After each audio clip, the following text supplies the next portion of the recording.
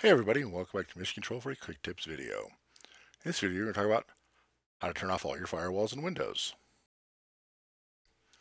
Occasionally, Windows will not actually disable all firewalls when turned off in the normal GUI. You can use the Windows PowerShell admin to force all firewalls off to prevent issues with network communications for Titan.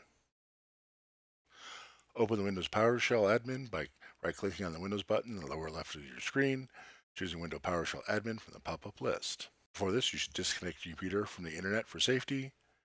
In the window that opens, type net sh advid firewall set all profile state off and press enter.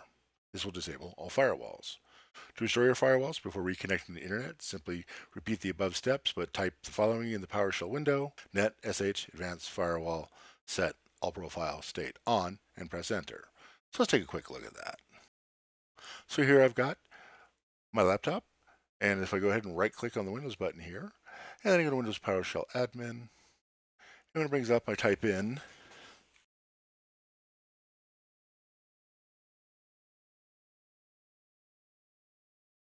and press enter.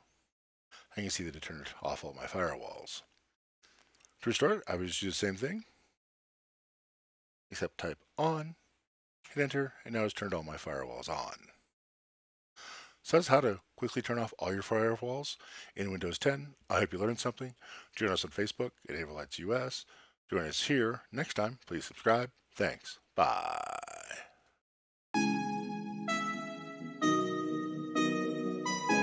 Wheel stop. Roger, wheel stop Discovery. Welcome back. A great ending to the new beginning.